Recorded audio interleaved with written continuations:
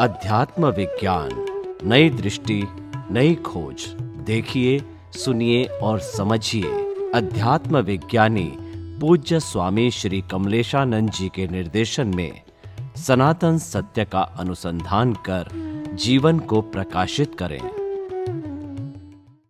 પેલા મને એવું થતું હતું કે હું પ્રતિક્રમણ કે સામાયિક આમાં ધ્યાન નથી આપતી હું તમારા પ્રવચનો સાંભળું તો મારું એ ચૂકાઈ જતું હતું પછી મને મેં મારા મનથી વિચાર કર્યો કે આ જરૂરી કે આ જરૂરી? આ લેટેસ્ટ વસ્તુ આ સાંભળું તો આ પ્રવચન અત્યારે ને અત્યારે જ હું અનુભવી શકું. કે એને અમલમાં મૂકી શકું. જ્યારે હું સામાયિક કે પ્રતિક્રમણ કરું તો હું પાછળ પાછળનું બધું ઉકેલીને જોયા કરું છું. એની કરતા વર્તમાનમાં રહેતા નથી. મારા માટે આ જ જરૂરી છે કોક દાડો કડવાશ થઈ હોય એ પાછી આજના જીવનમાં ઊભી આજે આજે. પચીસ વર્ષ પહેલા કોકને હેરાન કરે આજે હેરાની એ જ છે હોય પણ આજે દુઃખી આપણે થતા હોઈએ એ સામાયિક કરવામાં કે મેં આને આવો નડ્યા હું તારે હું કહું કે આજનો સમય આજના માટે છે કાલના માટે નથી. ગઈકાલની ગઈ. માટે મેં ભાર મૂક્યો છે. પ્રતિક્રમણને સામાયિક કરતા અજ્ઞાનને નાશ કરવામાં. અજ્ઞાનને નાશ કરવું એ ડેવલપમેન્ટ છે. ને પ્રતિક્રમણ કરવું એ ખાલી પાપોથી આ જ વસ્તુ સમાધાન પાપોથી બચશો તો પણ અજ્ઞાન તો કાઢવું જ પડશે એક દિવસ. હા કાઢવું જ પડશે. હવે સમાધાન. હું તમારા બોલવાથી કે તમારા પ્રવચનો સાંભળીને મને જે સમાધાન થયું હોય એ સમાધાન સત્ય જ હોય અને એમને સમાધાન થયું હોય. બંનેના સમાધાનો અલગ અલગ હોઈ શકે ને? ગ્રેડ તો અલગ હોઈ શકે ને. જેવું જેનું ડેવલપમેન્ટ એવું ડેવલપમેન્ટ પ્રમાણે તેવું જ હોય ને. મારી સમજણ આપવાની રીત ભલે એક હોય પણ દરેકનું. ગ્રાસ્પિંગ અલગ આજે પચાસ વિદ્યાર્થીઓ ટીચર ભણાવે પણ ગ્રાસ્પિંગ તો ઇન્ડિવિજ્યુઅલ વસ્તુ છે એમાં ટીચર શું કરી શકે? દરેક વ્યક્તિ પોતાના લેવલ કેપેસિટી હોય એટલું જે ખેંચે. ખેંચે. પેલી મોટર મૂકી હોય હું તમે વધારે મોટર હરખી આલી હોય પણ કોઈક વધારે મોટર પાવર ખેંચે કોઈક ઓછો ખેંચે. જેમ વરસાદ પડે જમીન ઉપર તો જમીન તો પલળવાની જ છે. કોઈ જગ્યાએ પૂર આવે કોઈ જગ્યાએ છોટા પડે ઓપન યોર હાર્ટ હાર્ટ યા ધેટ્સ ઇટ જેટલું નોલેજ ઈશ્વરનું તમને આપો છો એટલું કબૂલ કરો. પછી તમારી ઉપર છે કે કેટલું તમે એક્સેપ્ટ કરો? છો. હવે પહેલી પહેલી વખત કીધું કે આ દુનિયામાં મહાવીરે આપેલું જ્ઞાન હોય કૃષ્ણએ આપેલું જ્ઞાન હોય કે રામે આપેલું જ્ઞાન હોય કે બીજા પણ કોઈ પણ જ્ઞાને જ્ઞાની આપેલું જ્ઞાન હોય. પણ જ્ઞાન હંમેશા અજ્ઞાનને નાશ કરવા માટે જ હોય. જ્ઞાન પ્રાપ્તિ માટે નથી. કારણ કે તમે પોતે જ અનંત જ્ઞાન વાળા છો ફક્ત અજ્ઞાનને આ જ્ઞાનથી કાઢશો તો તમારું મૂળ જ્ઞાન ખુલ્લું થશે. ખુલ્લું થશે. ને તમારે આ જ્ઞાન મેળવો છો અજ્ઞાનને કાઢવા માટે. તમારા જ્ઞાનને વધારવા માટે નહીં. નહીં. અજ્ઞાન એ જ પડદો છે. મૂળ જ્ઞાનને ખુલ્લું કરવાનો પડદો કયો છે? અજ્ઞાન. એટલે જ્ઞાનીનું જ્ઞાન અજ્ઞાન કાઢવા માટે છે. જ્ઞાની તમને નવું જ્ઞાન નથી આપતા. એવું જ્ઞાન આપે છે કે તમારી અંદર અજ્ઞાન કાઢો. તો મૂળ જ્ઞાન ખુલ્લું થાય. હમ? આજે તમારી પાસે એક એક કરોડ રૂપિયા ઇન્ડિયામાં પડેલા છે. તમે જાણતા નથી. તમારા ગ્રાન્ડ ફાધરે દાટેલા છે. અથવા મારા મનમાં આ જ વિચાર હતો હમણાં કે તમે એક વખત અમે અમે હું કઈ રીતે આકર્ષાયો તમે એક વખત દાખલો આપેલો. ત્યારે છે ને મને કન્ફ્યુઝન હતું. કન્ફ્યુઝન પણ આ કમલેશન જે કે આપતા પુત્ર એ બંને હરખા જ હતા. એમાં તમે તમારું પ્રવચન મને ઓકલામાંથી મોકલ્યું કે બાપાએ બે દીકરાને વારસો આપ્યો. જે. પછી એમાં એવો રસ પડી ગયો કે એકે વારસો સાચવી રાખ્યો અને વારસો વારસો જ રહ્યો બીજાએ વારસો વાપર્યો. એ તમે જ્ઞાન સાથે એટલે મને એક્ઝેક્ટ યાદ નથી but this is what you. એટલે એટલે આપણને લાગે કે આપણા ગ્રાન્ડ ફાધરે આપણા જ ઘરની અંદર એક કરોડ રૂપિયાની મિલકત મૂકી છે ડાયમંડ ગોલ્ડ સિલ્વર વોટ જે હોય તે. પણ આપણને ખબર? નથી. કારણ કે આપણને આપણા ફાધરે બી કીધું નથી. હવે આપણે તો અત્યારે જે કંઈ મિલકત હતી એ ખાધું પીધું જલસા કર્યા. હવે આપણે ખાલી થઈ ગયા. ખાલી થઈ ગયા પછી આપણે અમેરિકાથી ઇન્ડિયા પાછા ગયા. ઇન્ડિયા પાછા ગયા એટલે આપણી પાસે કોઈ હતું જ નહીં અહીંથી. ને ત્યાંય કશું નતું સાદું જ ઘર હતું કારણ કે બધું જે કંઈ હતું અહીંયા લઈને આવ્યા હતા. અને અહીંયા જે હતું જતું રહ્યું. હવે કરીએ શું? એટલે આપણે સામાન્ય કર્મ માર આપણે ખાઈ પીને આપણે દાડા કાઢીએ છીએ. ત્યાં તમારા ગ્રાન્ડ ફાધરના વખતનો એક મિત્ર આવે છે. કે લાવો આ મારો પુરાણો મિત્ર છે. એના વારસદાર શું કરે જરા જોવા તો જોઈએ જરા હાય હલો કરવા તો જોઈએ એટલે બચારા ત્યાં આવે છે. અને તમને જોઈને એમ લાગે છે કે આ લોકો કેમ માટે દુઃખી છે? મારો ગ્રાન્ડ ફાધર તો એનો ગ્રાન્ડ ફાધર કેટલો સુખી હતો. ખ્યાલ આવી ગયો ને પણ તમને ખબર નથી? પછી એને તમને જોઈને કહે છે કે તમે શું કરો છો? ત્યારે તમે કીધું કે અમારી પાસે કંઈ બહુ પૈસા નથી આ તો માર માંડ મેં ગુજારો કરી રહ્યા છે. ત્યારે કહે છે કે ના તમારા ગ્રાન્ડફાધરે અહીંયા પૈસા અહીંયા દાટેલા છે. આ જગ્યા ખોદો તમે. પાંચ ફૂટ ઉદે તમને આ ઘડો મળશે એવા વસ્તુ છે. ને આપણે ખરેખર એના ગયા પછી ખોદ્યું અને આપણને મળ્યું. તો વસ્તુ તો આપણી પાસે હતી જ. ખાલી બતાવનારો હતો એને આપ્યું નથી. એને શું કર્યું ખાલી આપણને? એટલે અમારું કામ તમને બતાવવાનું છે. આપવાનું છે એ માન્યતા જ ખોટી છે. અમારે એકવાર સત્સંગ હતો. હિન્દી હિન્દી ભાષામાં શિબિર હતી. બરોડામાં. હિન્દી ભાષામાં. તો ત્યાં આગળ અમારા શિબિરમાં પહેલો દિવસ બધા લગભગ છસો સાતસો વ્યક્તિઓ આવેલા હિન્દી પાસે એટલે કોમન સત્સંગ હોય પહેલા દિવસે પહેલું સેશન પછી આપણે ક્લાસ વાઇઝ હોય બધું પણ પહેલો સત્સંગ કોમન હોય દરેક આપતો પુત્રો અડધો અડધો કલાક બોલે એટલે એમાં મારો વારો આવ્યો બોલવાનો હિન્દીમાં એટલે મેં हिंदी કીધું हम सब लोग जो यहाँ आए हैं न कुछ पाने के लिए आए न कुछ खोने के लिए आए એટલે બધા એમ લાગ્યું કે આવું કેમ બોલે છે ન कुछ पाने के लिए आए और न कुछ खोने के लिए आए તો પછી આયા છે ને માટે થાય કે નહીં એવું પણ મારા બધા વાક્યો છે ને બહુ હાઈ લેવલ અન્ડરસ્ટેન્ડિંગ હોય યુ હેવ ટુ તમારે એટેન્શન આપવું પડે તો જ સમજાય નહીં તો ના સમજાય કારણ કે આ આધ્યાત્મિક ભાષા ભાષા છે છે. આ લૌકિક ભાષા નથી હા એટલે હું પછી આટલું જ અટકી જાઉં પછી બધાના મોઢા જોઉં કે શું થાય છે રિએક્શન તો આવે બોલે નહીં પણ મોઢા ઉપરથી ખ્યાલ આવે ને ये आदमी कैसी बात करता है न कुछ पाने के लिए आए न कुछ खोने के लिए आए પછી હું કહું हम सब जो ऊपर बैठे वक्ता या नीचे बैठे श्रोता दोनों में से कोई न कुछ पाने के लिए आए न कुछ खोने के लिए आए हम सब अपनी अज्ञानता को मिटाने के लिए आए નથી મેળવવાનું નથી ગુમાવવાનું ખાલી અજ્ઞાનતા કાઢવાની છે. કાઢવાની છે. જ્ઞાન તો છે જ અંદર છે આ તો મહાત્મા કે સ્વામીજી અમારી પ્રગતિ કેમ દેખાતી નથી મેં કહું તમે બોલો છો એ માનતા નથી માનો છો એ બોલતા નથી શું કીધું બોલો છો એ માનતા નથી અને માનો છો એ બોલતા નથી. તો મને કે આવું કેમ કહો છો? હું કહું તમે બોલો છો કે ઓલન શક્તિ વાળો છું. ને શક્તિ માગવાની ફોટામાં. જે માગો છો ત્યાં બોલતા નથી બોલો છો તે માનતા નથી. Am રાઈટ ઓર રોંગ બોલે છે શું? હું અનંત શક્તિ વાળો છું. હું અનંત સુખ વાળો છું. પણ મુશ્કેલી આ શક્તિ ક્યાં માગવાની? ફોટા પાસે મૂર્તિ પાસે. તો બોલો ને કે મૂર્તિ અનંત શક્તિ તો કે બોલવાનું નહીં. હું જે માનું છું એ બોલવાનું જે બોલું છું એ માનવાનું નહીં. રિઝલ્ટ કેવું આવે? તમે પોતે જ કન્ફ્યુઝ છો. શું છો? સાહેબ મારી વાત બરાબર લાગે છે. તમે પોતે જ કન્ફ્યુઝ છો રિઝલ્ટ કઈ રીતે આવે? ભગવાન તો એટલો દયાળુ તમારી ડિમાન્ડ વાળો બોલવાનું તૈયારી હોય. માંગવાનું ત્યાં પાછું. એટલા માટે એક મિનિટ. એટલા માટે મેં સત્સંગમાં વારંવાર કહું છું કે તમારા આત્માથી શક્તિશાળી આ બ્રહ્માંડમાં કોઈ નથી. માટે ગમે તે મુશ્કેલી આવે એની પાસે શક્તિ માંગજો. કારણ કે એ જ સર્વશક્તિમાન છે. આ દુનિયામાં બીજો કોઈ શારીરિક રીતે દેવો પણ આના જેટલા શક્તિમાન નથી. એ એમની લિમિટ છે. માટે તમને જો વિશ્વાસ હોય તો કોઈ પણ પ્રકારની મુશ્કેલી આવે તો શક્તિ આની પાસે માંગજો. અને બોલજો હે અંતર્યામી પરમાત્મા. શું કહેવાનું? હે અંતર્યામી પરમાત્મા. મને આ શારીરિક આર્થિક માનસિક સામાજિક જે મુશ્કેલી આવી છે એ મુશ્કેલી મારા કર્મથી જ આવી છે હું સ્વીકાર કરું છું. એની ક્ષમા માગું છું. પણ આ સંજોગોમાંથી કેમ હું બહાર નીકળું? એ મને આપ શક્તિ પ્રદાન કરો પ્રદાન કરો પ્રદાન કરો. અંદર માગવાની. એ શક્તિશાળી છે. એનાથી મોટો શક્તિ આખા બ્રહ્માંડમાં કોઈ નથી. દેવી દેવતાઓ પણ નથી. પણ તમને વિશ્વાસ હોવો જોઈએ. સ્વામીજી પેલું કયો ને? કે આ સંજોગો મને લાયક નથી અને એ ન હોવા જો ન હોવા ઘટે. જ્યારે આપણને વિપરીત સંજોગો કે આવું કશું આપણને આવે છે ત્યારે આપણને જે તમે કહ્યું ને કે આ સંજોગો મને લાયક હા એટલે આપણે ના ગમતા સંજોગો આવે તો સંજોગો અને સંજોગોના. સંજોગો અને સંજોગોના નિમિત્તને ગાળ નહીં દેવાની. આપણે કહેવાનું કે હે પરમાત્મા મને આ આ સંજોગો મોક્ષ માર્ગ માટે લાયક અને સહાયક નથી, નથી. માટે આ સંજોગ મને પ્રાપ્ત ન થાય એમાં સાઇન કરવાની નહીં. નહીં. કોઈ પણ સંજોગોમાં સાઇન નહીં કરો તો કેરી ફોરવર્ડ નહીં થાય. સાઇન કરશો તો કેરી ફોરવર્ડ થશે. સંજોગ પણ ખરાબ છે. સારા પણ હોય મોના પણ તોય સાઈન કરવાની નહીં. આવા સંજોગ મને પ્રાપ્ત ન થાવ. કેમ? કારણ કે મોક્ષ માર્ગ માટે લાયક અને સહાયક નથી.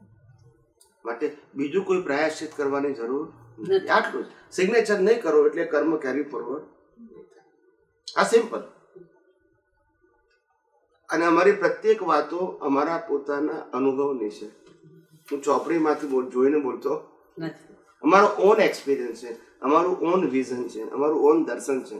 એ દર્શનમાં જે દેખાય છે એ નીકળે છે. એટલે અમારે મનનો ઉપયોગ કરીને બોલવું પડતું નથી. વિચારી વિચારીને બોલવાનું ના પડે અમારી વાણી સહજ સરી પડે. યસ પ્લીઝ તમે એમ કીધું હું અનંત શક્તિ વાળો છું શક્તિ માંગવાની. પણ આ તો આગલા જન્મના કદમના આધારે છે. તો માંગીશું તો આના પછીના જન્મમાં મળશે તો હમણાં તો કઈ હેલ્પ થવાની જ નથી રાઈટ પહેલી વસ્તુ એ કે શક્તિ માગવી એટલે શક્તિ મળવાનો પ્રશ્ન નથી. શક્તિ માગવી એટલે કોન્ફિડન્સ આવવો. શું આવો આ દુનિયામાં શક્તિ આપનાર કોણ છે? કોઈ નથી. ફક્ત નૈમિતિક રીતે સમર્થ પુરુષો તમને આત્મવિશ્વાસ પ્રગટાવે છે. શું પ્રગટાવે છે? મેં પહેલાં કીધું કોઈ આ દુનિયામાં કોઈ સ્વતંત્ર આપનારો કે લેનારો કોઈ છે નહીં. માત્ર આપણા હિસાબ છે. પણ મહાન પુરુષો સમર્થ પુરુષો તમને સેલ્ફ કોન્ફિડન્સ ક્રિએટ કરે છે. To face the circumstances they not give the power but they give the vision of power સમર્થ કરવાની તમને સામર્થ્ય બતાવવાની તમને શક્તિ આપે તમે સમર્થ છો. તમે હેન્ડીકેપ નથી. તમે કાયર ના માનો. એવું ના માનો કે હું ગરીબ છું દુઃખી છું આમ છું તમે તેમ છું મને ફલાણું નથી. એવું ના માનો.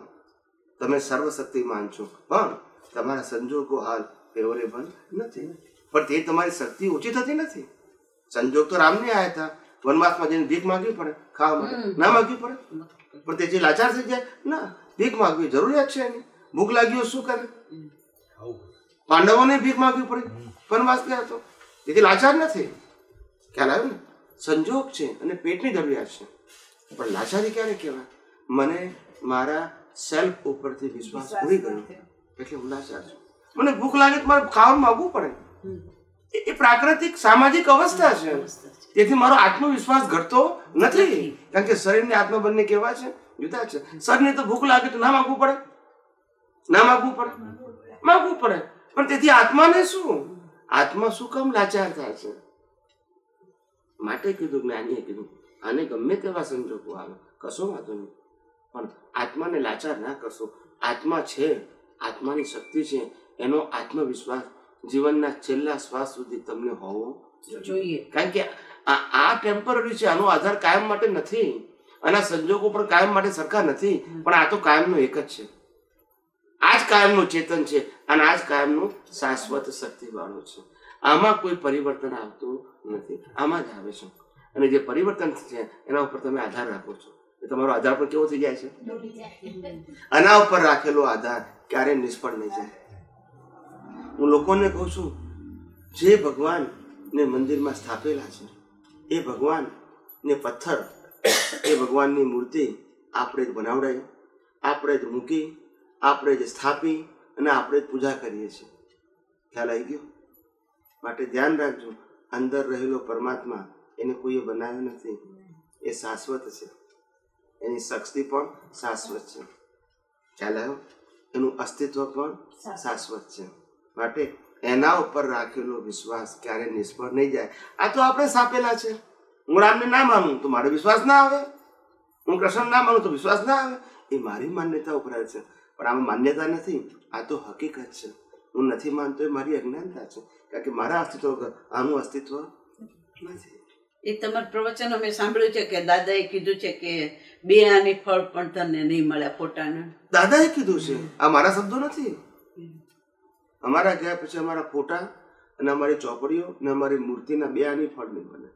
પ્રત્યક્ષ ભોજ જે કહે છે. બાકી મૂર્તિના ફળ તો બધા જુએ છે દુનિયામાં. બધા ધર્મની મૂર્તિઓ છે. એ ખાલી શ્રદ્ધા છે. શું છે? શ્રદ્ધા છે. આપણે ખોટી જેવું નથી કહેતા, પણ એ શ્રદ્ધા છે. પણ શ્રદ્ધા કરતા હકીકત ક્યાં છે? તો કે શાશ્વત અહીંયા છે. તો કવિરાજે પણ લખ્યું છે એમના પદમાં, અગર શ્રદ્ધા રાખવી હોય તો ઘણા ઉપર રાખજો શ્રદ્ધા એક માત્ર શાશ્વતની રાખીએ. જો શ્રદ્ધા રાખવી હોય તો કોના ઉપર રાખો બાકી આ બધા ઉપર રાખેલી શ્રદ્ધા. ક્યારે ડગી જશે કહેવાય. જે પોતે જ અસ્થિર છે એના ઉપર રાખેલી શ્રદ્ધા કેવી રીતે સ્થિર હોઈ શકે? હોઈ શકે? એટલે આના ઉપર રાખજો શ્રદ્ધા. અને આના ઉપર રાખેલી શ્રદ્ધા ક્યારેય નિષ્ફળ નહીં જાય. સમજાય છે? ફક્ત તમને તમારા રિયલ સેલ્ફ ઉપર વિશ્વાસ હોવો જોઈએ.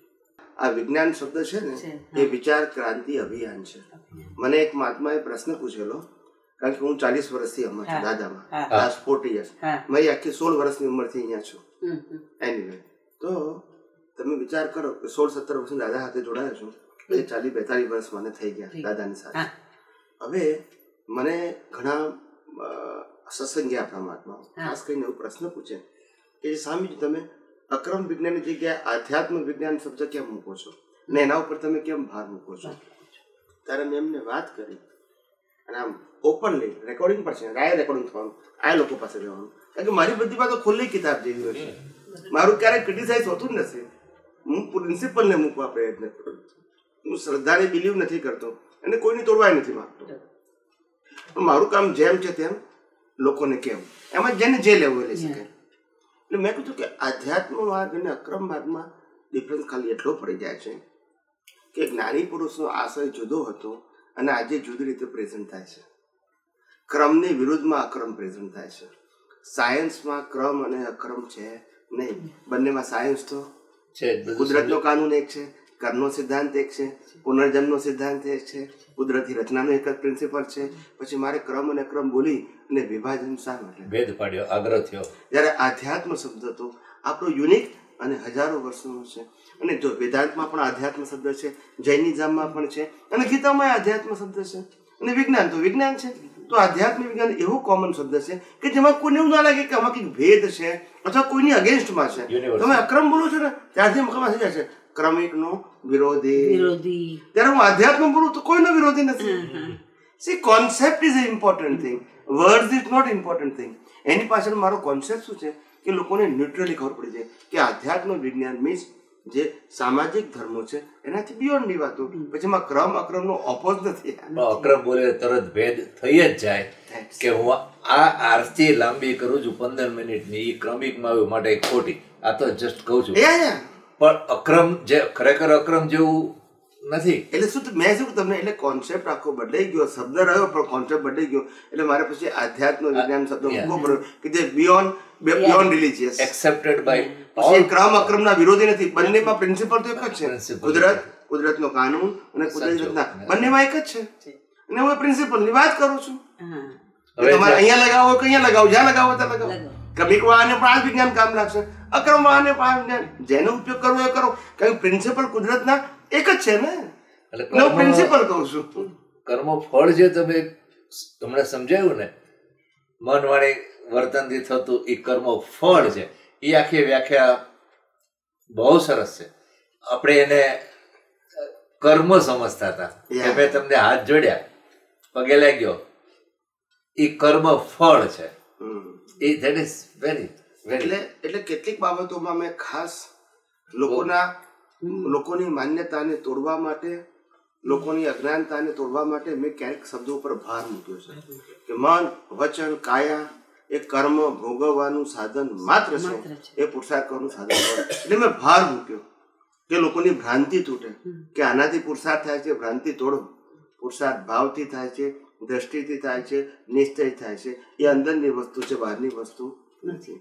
આવું ભ્રાંતિ તોડવા માટે મારે સ્ટ્રોંગ બોલવું પડે છે. તમને જો સમય તમને કડકમાં કડક વિરોધી પ્રશ્નો કયા પૂછાણા એ અમને કહો ને? સ્વામી દુનિયામાં આટલા બધા ધર્મો છે આટલા બધા ધર્મગુરુઓ છે અને પોતપોતાની વાત પ્રેઝન્ટ કરે છે તો તમે આ આધ્યાત્મ વિજ્ઞાનની નવી વિચારધારા કેમ મૂકે? એ, વ્યક્તિગત મારો વિરોધ કરતો નથી જાણવા માટે કે આટલા બધા માર્ગો છે તો એક તમે નવી વસ્તુ કેમ મૂકી? ત્યારે મેં કીધું કે જગતમાં જેટલા પણ માર્ગો છે ને એ માર્ગોને હું માળખું માનું છું. શું માનું છું? માળખું.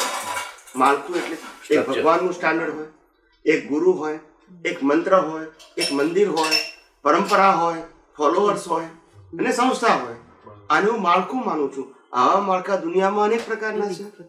અને હું માળખાથી બિયોન્ડ વાત કરવા માંગુ છું. કે જેમાં કોઈ ભગવાનનું સ્થાપન નથી આવતી ગુરુની સ્થાપના નથી આવતી કોઈ પર્ટિક્યુલર મંત્ર નથી આવતું કોઈ રિચ્યુઅલ્સ નથી આવતું નથી મંદિર આવતું નથી સંસ્થા આવતું નથી ફોલોઅર્સ આવતા. આ આખું મારી આ આખા માળખાથી બિયોન્ડ વાત કરું છું. માટે એને આધ્યાત્મ વિજ્ઞાન એટલે સ્પિરિચ્યુઅલ સાયન્સ કીધું કે જે માળખાથી બિયોન્ડ છે. પાછું ક્રમ અને ક્રમ મૂક્યું. માળખું તો રહ્યું જ પાછું. રાઇટર રોંગ એટલે મારું વિઝન આ માળખા એ માળખાથી તમને ઉપર લઈ જવા છે ¿Será que él no va a ser? Mátelo a Abad.